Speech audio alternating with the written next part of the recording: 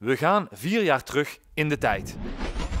Het ziekenhuis wordt gesloopt, maar dit kunstwerk wordt gered en gaat in de toekomst een mooie plek krijgen in de gemeenschap van Brunsum. En die belofte wordt nu waargemaakt.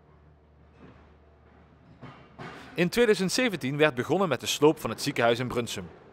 De gemeente wist het mozaïek in de entreehal en de tegelwand in het restaurant te redden. Die werken van kunstenaars Jos Hermans en Frans Deumes werden zorgvuldig opgeslagen. Onlangs is de tegelwand in ere hersteld en werd die onthuld op een nieuwe locatie. BNV Bronsheim in Brunsum-Oost. Dat onder meer onderdak biedt aan een basisschool en een voetbalvereniging. Vandaag hebben we de onthulling van uh, tegelkunstwerk van Jos Hermans. Het tegelkunstwerk dat met veel partijen en heel veel, heel veel werk is gered uit de sloop van het voormalige Gregorius ziekenhuis van Brunsum.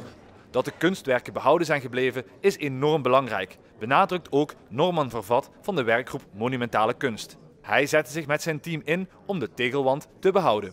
Nou ja, het is heel fijn dat dit kunstwerk gewoon behouden is. Brunsum is natuurlijk ook een gemeente waar in het verleden heel veel moois gesloopt is. Mooie panden, ook kunstwerken verloren zijn gegaan. En het feit dat dit een tweede leven heeft gekregen, ja, dat historie van Brunsum bewaard is gebleven, dat is uh, ja, van onschatbare waarde.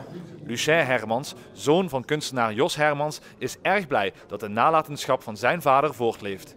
Eh, kunst voor de eeuwigheid, uh, zou mijn vader gezegd hebben. En uh, ja, het overleeft hem nu. anders was het ook, net als hij zelf, ja, ter ziele gegaan. De nieuwe locatie van het kunstwerk is niet willekeurig gekozen.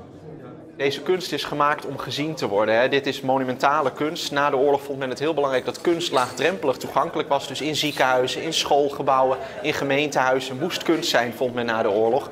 En dit is natuurlijk een hele laagdrempelige locatie, toegankelijk voor iedere inwoner van Brunsum. Dus het is een prachtige plek om zo'n kunstwerk weer een nieuw leven te geven door dit nu te bewaren voor de toekomst, hebben we een stukje kunsthistorie gered voor Brunsum, gered voor de toekomst. En ook kunnen we op deze basisschool alle kinderen de kunst laten zien en hopen dat dat het zaadje in hun hoofd geplant wordt om naar de toekomst toe zelf ook met kunst aan de slag te gaan.